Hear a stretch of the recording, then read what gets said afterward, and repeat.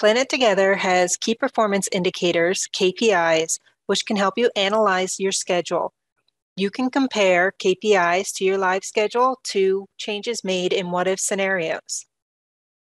To view your KPIs, go to Views, select Key Performance Indicators. You can select from the list of KPIs that are available. Here I have selected late jobs. If I hover over my data points, I can see the changes based on the schedule that I have in my live scenario.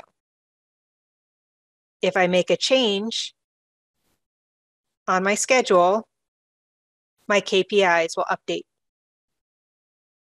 I can also make several changes in a what if scenario and compare them.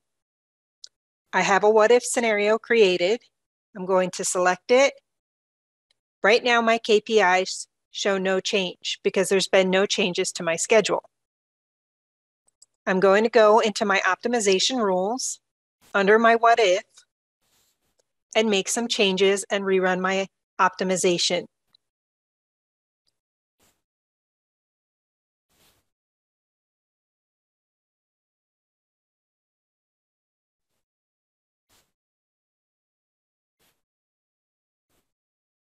I will save and close.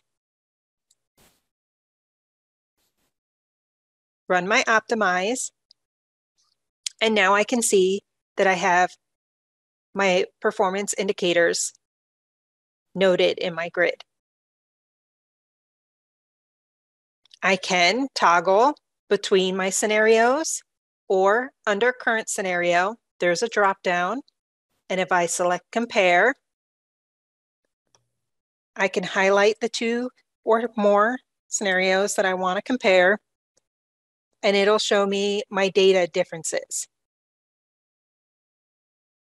You can add or remove which KPIs are shown by selecting the KPI visibility.